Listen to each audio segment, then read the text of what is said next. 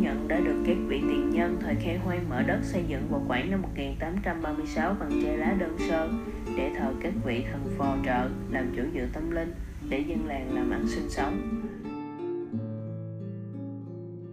Đình Phú Nhuận được sắc phong thần hoàng bổn cảnh ngày 29 tháng 11 năm Tự Đức thứ năm, tức ngày 8 tháng 1 năm 1853. Hiện nay sắc thần Đình Phú Nhuận đã bị hư một không còn. Thời kỳ kháng chiến chống Pháp, tại Đình Phú Nhuận đã diễn ra nhiều cuộc họp quan trọng như là nơi tập trung của lực lượng nghĩa quân và những người yêu nước tập luyện võ nghệ ban kế sách cho trận đánh cầu vong ngày 15 tháng 2 năm 1872 dưới sự lãnh đạo của Lê Cẩn, Nguyễn Giao.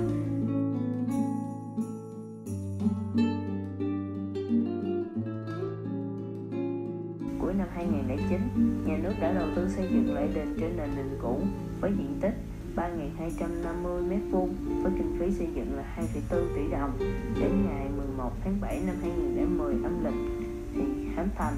Đình Phú Nhuận có hai lễ cúng như lễ thượng điền và lễ hạ điền. Lễ cúng hạ điền vào ngày 19 tháng 2 âm lịch, lễ cúng thượng điền vào ngày 16 tháng 10.